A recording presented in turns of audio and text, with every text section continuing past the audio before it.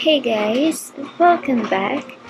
Today we are going to talk about the tire size for the 2018 Volkswagen Beetle. And if you are looking for the tire size for your 2018 Volkswagen Beetle, I have already looked it up. Just check the video description and I will try to leave the info there as well.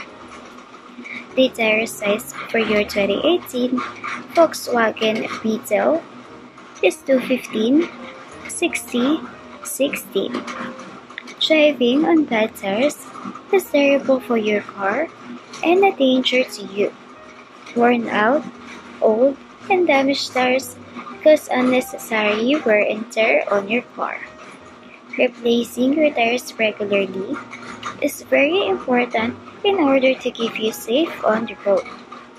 So once again, the tire size for your 2018 Volkswagen Beetle is 215 60 16.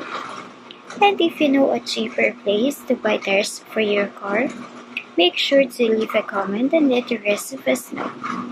Don't forget to check the video description for the most recent price.